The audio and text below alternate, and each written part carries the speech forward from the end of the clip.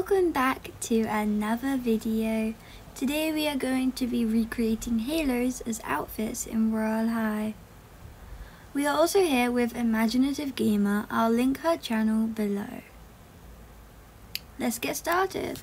So the first halo I did was the Winter 2019 halo. While I dress up, why don't we just talk and just have a little chat. So I am going to be posting every Tuesday, Thursday and Sunday. Sometimes not Tuesday, it depends on how busy my schedule is. And so now it's time for Imaginative Gamer to guess which Halo I dressed as.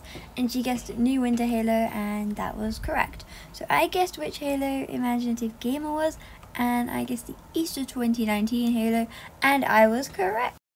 So that round was very easy, so we went on to the next round and I decided to dress up as the mermaid halo.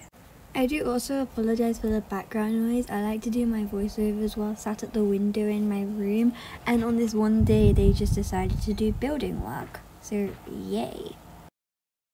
So then it was time to go guess what imaginative gamer dressed up as and it was quite obvious. It was the Halloween 2019 halo and it's a really good halo. You can see she recreated the bunnies as the little ghost which is so smart. And then she guessed what I was and I was the mermaid halo so she was correct. So next we moved on to the final halo and that is the light halo.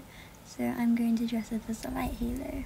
The light halo is actually my favorite halo and it was one of my main goals to get when trading came out and I finally got it and I'm so happy and I'm never ever trading it. It's like the one halo you want to keep.